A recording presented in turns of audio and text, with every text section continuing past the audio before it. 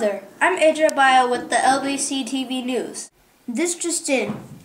Baby Maggie has been arrested for stealing presents from Santa. So far, she's stolen a laptop, a Hannah Montana Hillbilly t-shirt, and a microphone.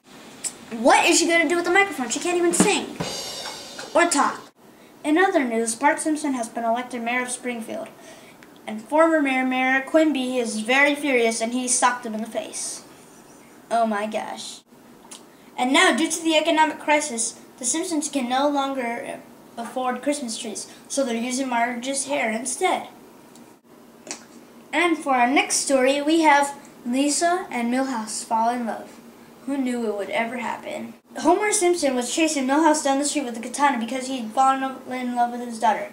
But after a few minutes, he ran out of breath and told Lisa that they could get married in 2030 when they'll probably look like this.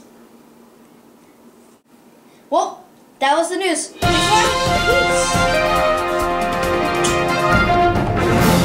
Uh, you can cut now.